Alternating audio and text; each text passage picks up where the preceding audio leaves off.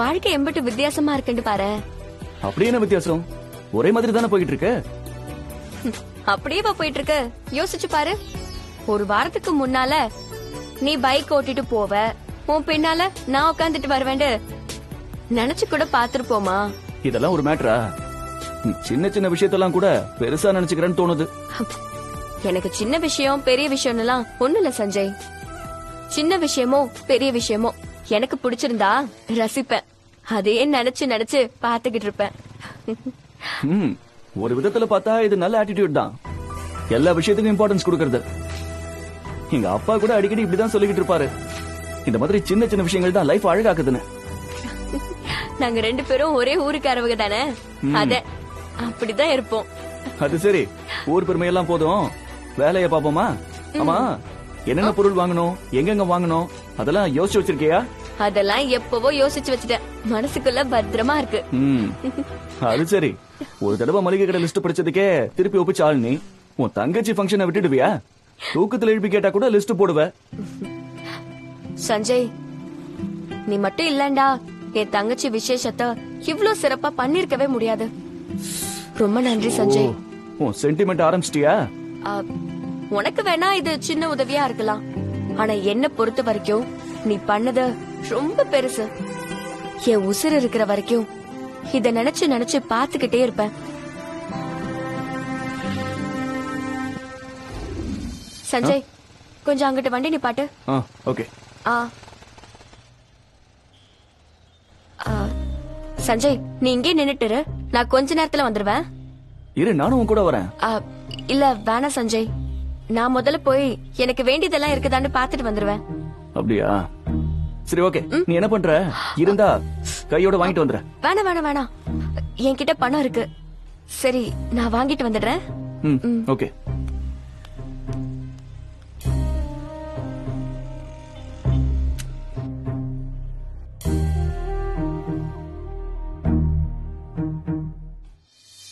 அண்ணே? ஆ, வாங்கம்மா. என்ன வேணும்? இல்லண்ணே நகைய அடகு வைக்கணும்.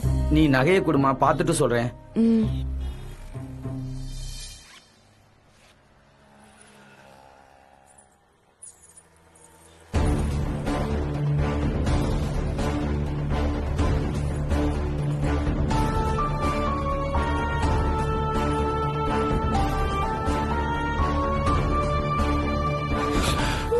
இது அம்மாவோட தாலி.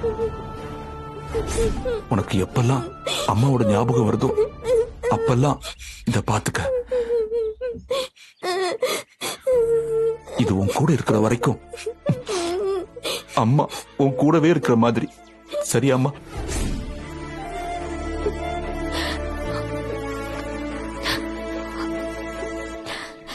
என்னை மன்னிச்சிருமா. எந்த நிலைமை வந்தாலும் எவ்வளவு கஷ்டம் வந்தாலும் இத மட்டும் விட்டு கொடுக்க கூடாதுன்னு தான் நான் இருந்தேன். இது இருக்கிற வரைக்கும் நீ என் கூட இருக்கிற மாட்டுக்கு தான் இருந்துச்சு. ஆனா தங்கச்சி சடங்கா இருக்கிறப்போ யார்கிட்டயும் கை நீட்டி காசு வாங்கவும் பிடிக்கல. எனக்கு வேற வழி தெரியலம்மா. என்னை மன்னிச்சிரு. என்னம்மா தூங்கிட்டியா? நகையை கொடு. இந்தாம்மா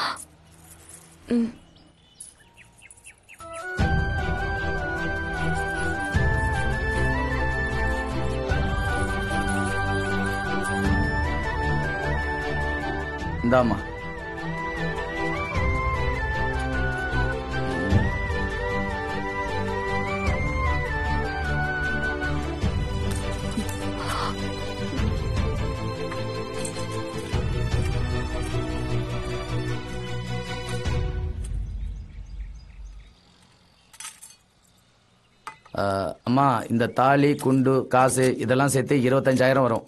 அதுக்கு மேல வராது. உன் பேர் சொல்லுமா? வித்யா. வித்யா. அரசனூர் தானே? ஆமாண்ணே. இந்தம்மா இதுல ஒரு கையெழுத்து போடு. எனக்கு கையெழுத்து போட தெரியாது. ஆ சரி. இந்தம்மா இதுல கை நாட்டை அழுத்தி போடு.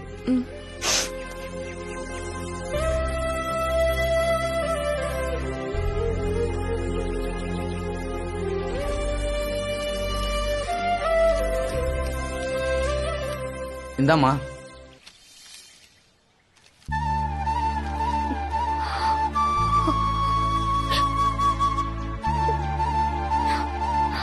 என்னை மன்னிச்சிருமா.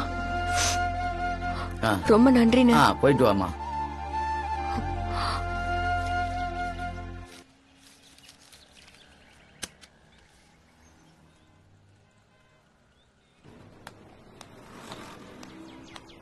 என்ன வித்யா? எதுவும் வாங்காம வர இனிமே தான் வாங்கணும். ஏன்? இங்க எதுவுமே கிடைக்கலையா? ஆ, கிடைச்சது. ஆனா இன்னைக்கு வேணாம். நீ திடீர் திடீர்னு ஏதோ மர்மமா பேசுற. சரி அடுத்து எங்க போகணும்? பத்திரிக்கை அடிக்கிற இடத்துக்கு போகணும். ஓகே. உனக்கு வழி தெரியும்ல? எனக்கு வழி தெரியும். நீ வண்டி எடு. நான் சொல்றேன். சரி ஏறு. உட்காரு போலாமா?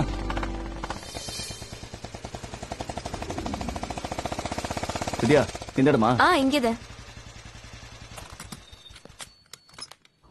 அண்ணே பத்திரிக்கை அடிக்கணும். முன்ன எல்லாம் பத்திரிக்கை அடிக்கணும்னா அப்பா அம்மா தான் வருவாங்க. இப்ப எல்லாம் பொண்ணு மாப்பிள்ளையே வந்துடுறாங்க. காலம் ரொம்ப மாறி போச்சு. ஐயா ஒரு நிமிஷம். ஐயா கல்யாண பத்திரிக்கைலாம் இல்ல. நீங்க பாட்டுக்கு பேசிட்டே போறீங்க. அதுக்கே தம்பி கோவப்படுறீங்க. பார்த்தா பொண்ணு மாப்பிள்ளை மாதிரி தெரிஞ்சது. யதார்த்தமா சொல்லிட்டேன். இப்ப என்ன பத்திரிக்கை அடிக்கணும் சொல்லுங்க. ஐயா மஞ்சள் தண்ணி பத்திரிக்கை அடிக்கணும். அடிச்சிடலாம். மேட்ரு எழுதி கொடுங்க. எனக்கு எழுத வராதுங்கய்யா. நான் சொல்றது நீங்களே எழுதிக்கிறீங்களா? நானும் ஒன்ன மாதிரிதாம்மா. எனக்கு ஒழுங்கா எழுத வராது. அதான் தம்பி இருக்காப்லயே எழுத சொல்லுங்க. தம்பி நீங்களே எழுதுறீங்களா ம். வித்யா நீ சொல்லு நான் எழுதுறேன். ம். நீங்க உள்ள உட்காந்து எழுதுங்க. ஓகே. வா. ம். சொல்லு. ம்.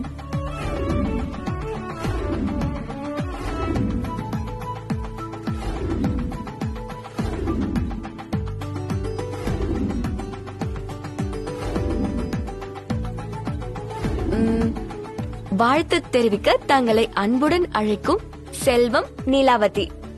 அழைக்கும் செல்வம்.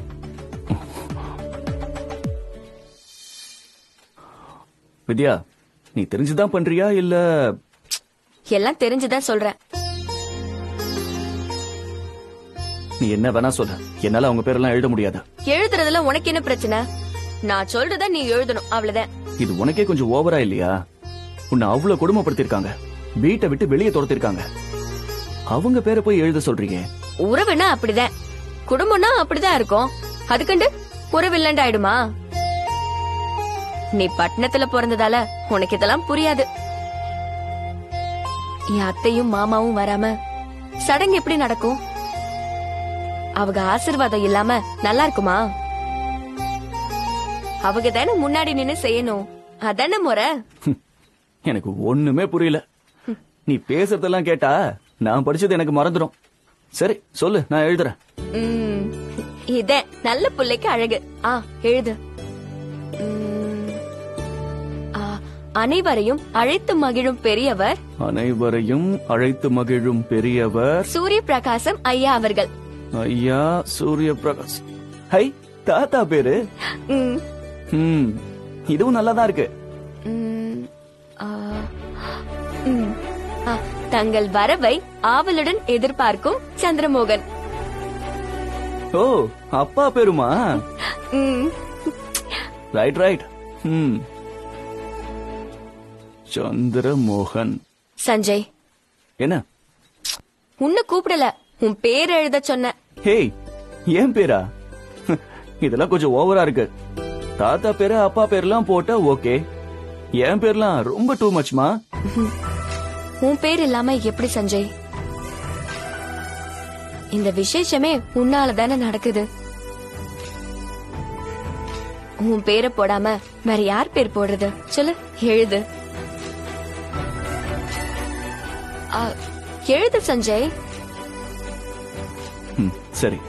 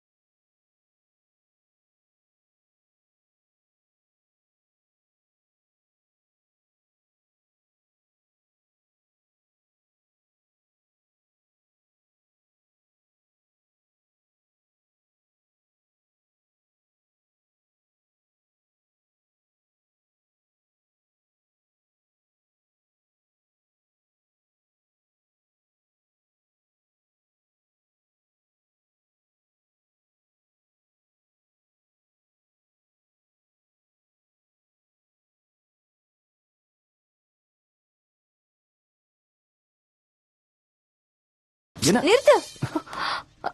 ஏன் என்னாச்சு? ஏதாவது வாங்க மறந்துட்டியா? அதெல்லாம் ஒண்ணும் இல்ல. அங்க பாரு. ஐஸ்கிரீம்க்கா இந்த அக்கா போற? சரி சொல்லு. உனக்கு என்ன ஐஸ் இல்ல வேணும் நான் இதெல்லாம் சாப்பிட மாட்டேன். உனக்கு வாங்கி தரவா? வேணாம் வேணாம். நானே வாங்கிக்கிறேன். எனக்கு ஒரு ஃபோன் வருது. நீ போய் வாங்கிட்டு வா. நான் இங்க இருக்கேன். ஓகே ஹலோ யா? அண்ணா. என்ன ஐஸ்ல இருக்கு? பால் ஐஸ் ஸ்ட்ராபெரி ஐஸ் வெண்ணிலா இருக்குமா ஆ, கப் ஐஸ் இருக்கா இருக்குமா. அது எவ்வளோண்ணே இருபது ரூபா தாம்மா.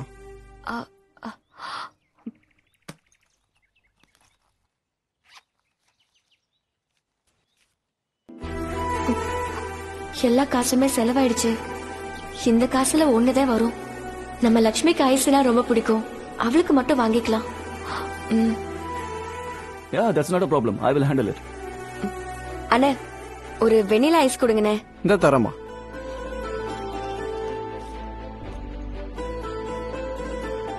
ஆ okay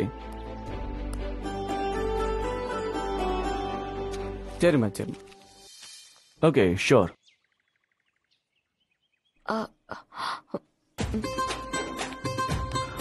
oh that's not issue I will manage it you don't worry okay okay Sanjay கொஞ்சம் சீக்கிரம் வண்டி எட அதுக்குள்ளயா? ஃபோன் பேசுறதுக்குள்ள ஐஸ்கிரீம் சாப்பிட்டு முடிச்சிட்டியா?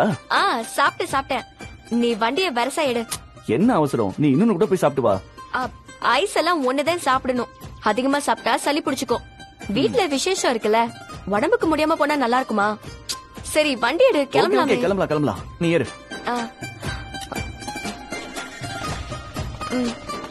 போலாமா? ம்.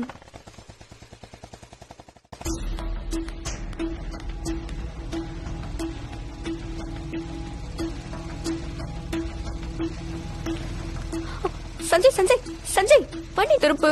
எதுக்கு திருப்பணும்? ஐயோ என் அத்தைக்காரி வந்துட்டு இருக்காங்க வரட்டுமே. அவங்கள பத்தி நீ ஏன் பயப்படுற? அவங்க என்ன பண்ணிடுவாங்க? ஐயோ சஞ்சய் விவரம் தெரியாம பேசாத. தயவு செஞ்சு வண்டியை திருப்பு.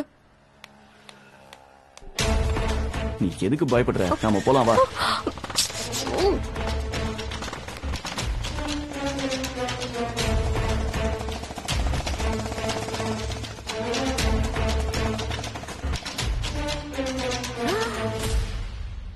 அடி பாவி. இந்த பய கூட பட்ட பகல்ல நடு ரோட்ல எப்படி கட்டி புடிச்சிட்டு போறான பாத்தியா? ச்சே. வீட்டை விட்டு துரத்துனதும் நல்ல வசதியா போச்சு. கேக்கறதுக்கு ஆள் இல்லாம இஷ்டத்துக்கு ஆடுறா.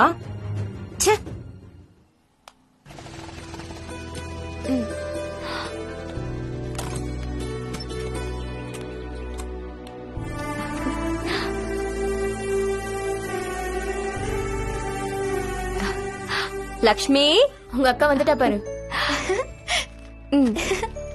அக்கா? அக்கா எனக்கு திங்க என்னக்கா வாங்கிட்டு வந்த?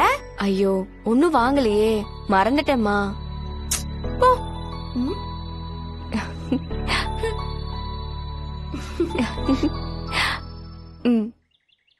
என் தங்கத்துக்கு நான் எதுவும் வாங்காம வருவேனா?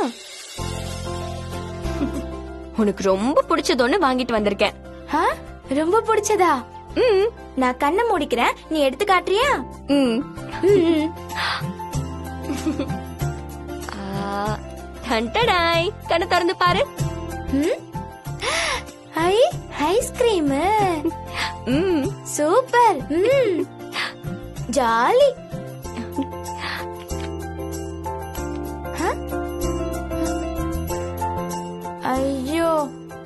அக்கா ஐஸ்கிரீம் கூல் எனக்கு இது வேணாம். வாங்கி ரொம்ப நேரம் ஆச்சா என்ன. இப்படி உருகி இருக்கு வாங்கின உடனே நம்ம வீட்டுக்கு தான் வந்தேன் நம்ம ஊர் ரோடு தான் கொத்த தெரியாதவன் அம்மிக்கல்ல கொத்தன மாட்டுக்க இருக்க. அத வந்து சேரத்துக்கு லேட் ஆயிடுச்சு. அதனால்தாம்மா உருகி போயிடுச்சு. கோச்சுக்கிடாத தங்கம். வித்யா ஆ? என்னாச்சு? கடைசியா லக்ஷ்மிக்கு ஐஸ்கிரீம் வாங்கினேன் முழுசா கரைஞ்சு போயிடுச்சு. எங்க? காட்டு. என்ன தேடுற? இல்ல கிரீம் இருக்கு. ஐஸ் எங்கன்னு தேடுறேன். ம். டேய் பாவன் அந்த லட்சுமி அதுவே ஏமாந்து போய் உட்காந்துருக்கு நீ வேற கிண்டல் பண்ணிக்கிட்டு. அதனால என்ன? வாங்கின ஒரு கப் தானே உருகிடுச்சு? மிச்சம் ஆறு கப் இருக்குல்ல?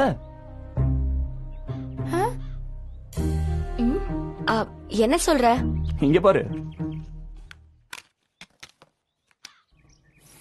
இந்தா எல்லாம் உனக்கு தான். ஹை. சூப்பரா இருக்கு. ஹையா.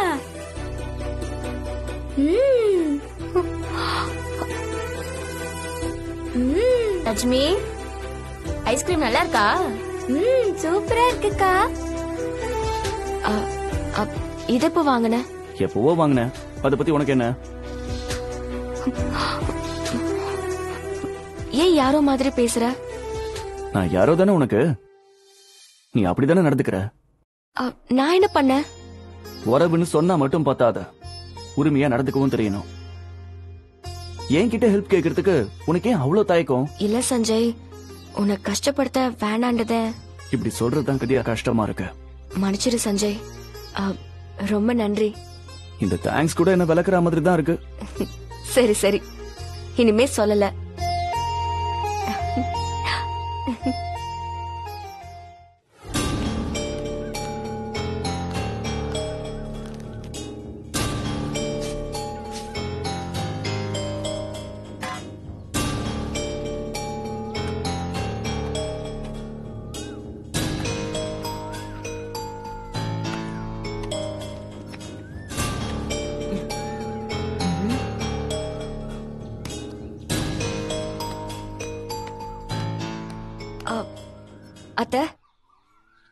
என்னம்மா? நீ மட்டும்தான் வந்திருக்கியா? இல்ல. அடியாளுங்களை யாரையாச்சும் கூட்டிட்டு வந்திருக்கியா? ஐயோ அப்படிலாம் இல்ல அத்தை. நான் மட்டும்தான் வந்திருக்கேன். லக்ஷ்மி விசேஷத்துக்கு பத்திரிக்கை வச்சு அழைக்க வந்திருக்கேன். ஆமா இப்ப அது ஒண்ணுதான் குறைச்சல். உனக்கெல்லாம் வெக்கமே இல்லையாடி.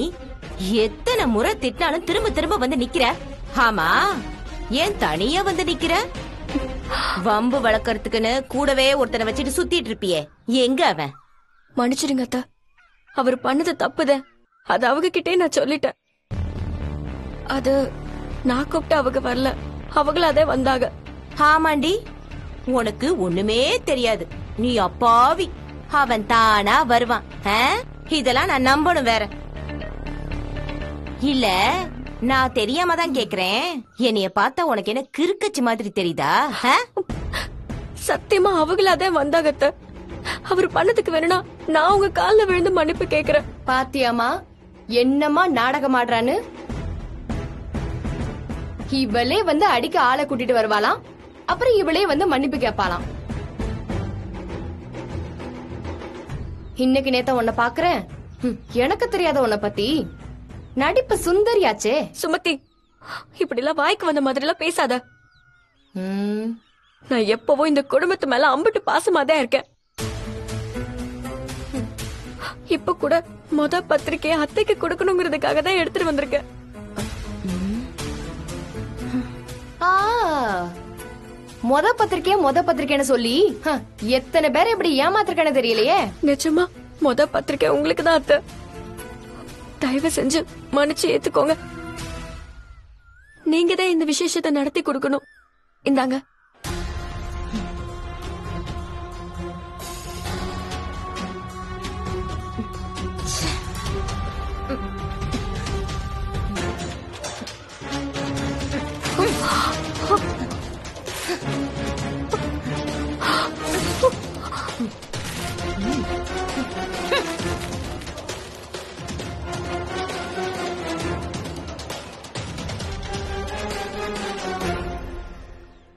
விசேஷம் விசேஷம்னு தெரியற? இதுக்கெல்லாம் ஏதடி காசு? ஆ? அவன் கொடுத்தானா? உன்னையும் அவனையும் பத்தி ஊர் எவ்வளவு கேவலமா பேசுதுன்னு தெரியுமா? என் குடும்பத்துக்குன்னு ஒரு மான மறுவாதை இருக்கு. உன் வீட்டு விசேஷத்துக்கெல்லாம் வந்து அதை நான் கெடுத்துக்க விரும்பல. எனக்கும் ஒரு பொண்ணு இருக்கா. இவளை நான் கௌரவமா கட்டி கொடுக்கணும்னு நினைக்கிறேன். நீ எக்கேடாவது கெட்டு போ. நான் உன்கிட்ட எதுவுமே கேட்கல ஹம், இனிமே இந்த மாதிரி விசேஷம் அது இதுன்னு ஏதாவது சாக்கு சொல்லிட்டு இந்த வீட்டு படி ஏற வேலை வச்சுக்காத.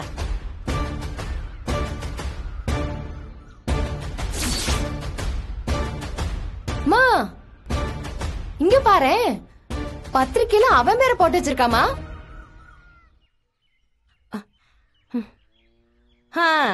அரச பொரசலா பண்ணிட்டு இருந்த. இப்ப வெளிப்படையாவே பத்திரிக்கையில பேரெல்லாம் போட ஆரம்பிச்சிட்டியா?